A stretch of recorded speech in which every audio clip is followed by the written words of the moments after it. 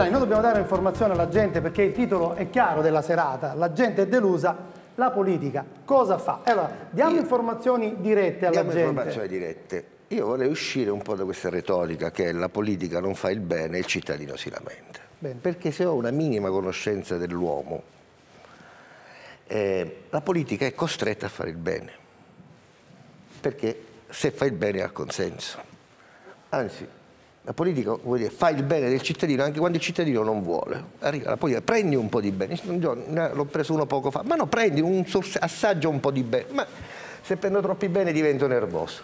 Quindi questa faccenda che la politica non faccia il bene del cittadino è una menzogna, una menzogna che fa bene ai giornaletti scandalistici, ai bloghetti, alla protesta civile, ma non è vero.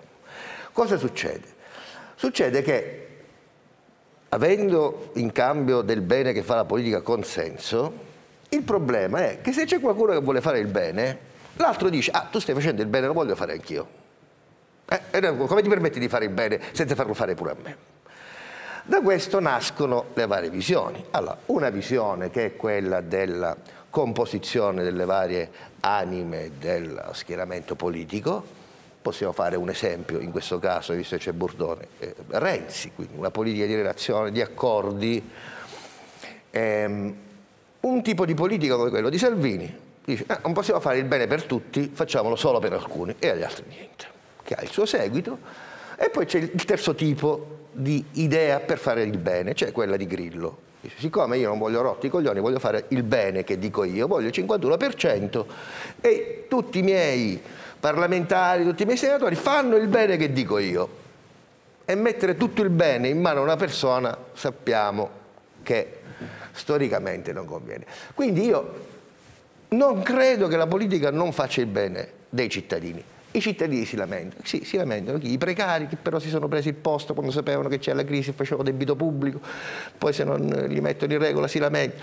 I cittadini non è che siano molto meglio dei politici, anzi io direi che i politici sono molto meglio dei cittadini perché mentre i cittadini sono assolutamente egoisti, invidiosi, accaparratori, almeno il politico è costretto a fare del bene perché è dal bene che gli viene il consenso. E quando viene scoperto con la mano nella marmellata? Nella mano della marmellata, quello, stiamo parlando di reato, di casi, di, casi, di reati. Poi, particolari. Ah, guardi, certo. che la, guardi nella mano con la marmellata ci pigliano anche il cittadino che fa la rapina. Certo, certo. quindi, certo ma quella, che, quella, però stasera l'argomento è la tra, diciamo, tra i due blocchi, certo. tra il cittadino che si lamenta certo. e il politico che fa il bene, io sono assolutamente schierato a favore del politico e contro il cittadino. Ma tu li hai mai visti i cittadini, Umberto? Cioè, fate sì. un giro. Sì. Almeno i politici, voglio dire, certo, non sono, fanno, vengono sempre dalla cittadinanza cittadinanze, però almeno sono un pochettino più, hanno delle, hanno delle forme, rubano, però poi sì, puliscono, non lo so. Cioè, non credo che, no, a parte, Ottavio, a parte no, non credo che la politica non faccia il bene. Però la politica è lo specchio dei, di quello che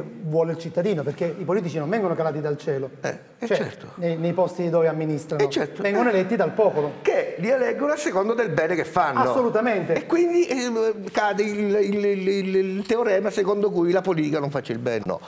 Volevo aggiungere un'altra cosa ai cittadini che mi ascoltano. È inutile che continuate a chiedere lavoro, perché una volta allo Stato, una volta lo Stato c'era questa cosiddetta economia keynesiana, stampava i soldi e vi diceva scava la buca e fai il monticciolo, poi prendi il monticciolo e, beh, e stampava il denaro.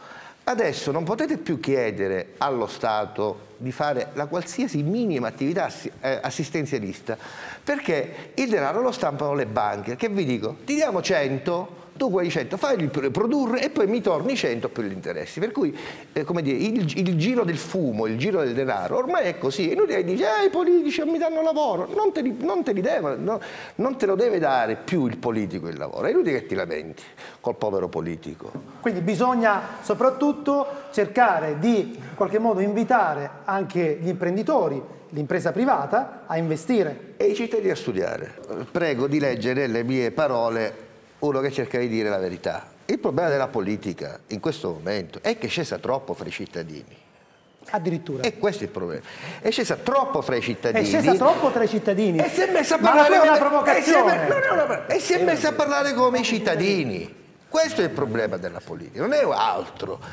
Tra altre cose noi e questo lo dico da scrittore, negli ultimi 30 anni a questa parte stiamo rimbecillendo, cioè la cosiddetta base, il popolo, è sempre più cretino.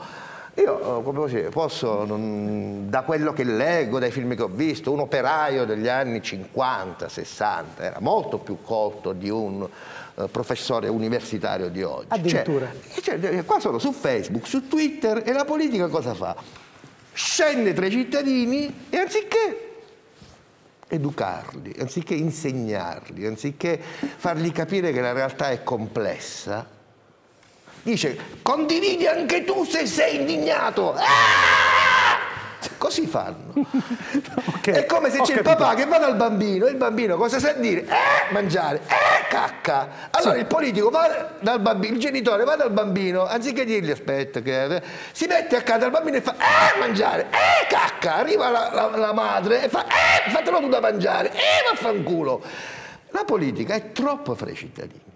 Ah, dico, loro ce ne possono dare atto, il eh. linguaggio dei cittadini. Questo è il pensiero di Ottavio Cappellani. Eh, Ottavio Cappellani, no, no, parlando seriamente. Ragazzi, Crocetta è frutto di tutto quello che io detesto nella Sicilia, cioè questa antimafia di facciata. Questa... Cioè, ragazzi, questo è partito con Battiato e assessore, assessore e Zicconi. E Zicconi. Pardon, pardon. Cioè, era quella la giunta, ha fatto quella cosa, i siciliani che um, si fanno facilmente a là. Poi secondo me ha vinto perché era gay, e c'era questa cosa di Vendola, quindi ha avuto un po' di populismo vendoliano, un po'... Certo, eh, ha avuto anche il sostegno della coalizione che parecchi sono... Ecco, tra questi nomi eh, ci cioè, sarà sicuramente... è stato messo lì da chi poi se n'è pentito. E allora, ehm, Ottavio Cappellani, ehm, quale dovrà essere il primo punto nell'agenda del nuovo presidente della regione, secondo te? È proprio il primo in assoluto. Sai cosa? Ed è strano detto da me che sono un debosciato le forze dell'ordine. Le forze dell'ordine. Soprattutto non nelle città, ma nelle campagne, perché noi siamo una regione in cui queste nostre campagne è tra l'agricoltura, è tra il turismo, è tra l'agriturismo, ma ci sono realtà in cui c'è una volante, due volanti che coprono e, e, e di notte quello che succede nelle nostre campagne è inenarrabile, è inenarrato perché nessuno gliene frega di raccontare. Certo. Quindi la sicurezza. La sicurezza nelle certo. campagne, certo. nelle, nelle, campagne. campagne. Ecco. Certo. Che vorrebbe dire anche appunto assumere. Eh, Chiaro. Quindi tu dici la sicurezza Sembra al primo detto punto. Da me, io mi sto dicendo, ma perché sto dicendo queste cose? Torno perché da te perché l'ultima parola questo. la do proprio a te per Sicilian, Sicilian Comedy. A dieci anni di distanza ho sentito l'esigenza di aggiornare, quindi di fare un seguito, eh, perché è assolutamente successa una cosa che lì prevedevo e caricaturalizzavo, cioè il fatto che essendo finito i soldi, la politica si è buttata sulla cultura adesso. Ed è bellissimo. Io comincio questo, a ridere già. In questo mondo che va sempre più, che si ragiona Vabbè. per Twitter sì. e per slogan sì. e per condividi se condividi. sei indignato. Sì. Sono tutti in una cultura pazzesca e quindi ci sarà Shakespeare, c'è una grande storia d'amore. A giugno dunque in libreria. Contessi, assessori. Possiamo già prenotarlo. E tanto sesso, c'è tanto sesso. Addirittura. Tantissimo Anche sesso. tu con le sfumature? Ma di più. Di più, di più. va bene. Non lo perderemo senz'altro. Questo appuntamento a metà giugno? A giugno adesso non so la data, in libreria per Sem Editorio. Bene, grazie, grazie a Ottavio Cappellani, grazie ai nostri ospiti, grazie a voi che ci avete seguito da casa, appuntamento alla prossima settimana.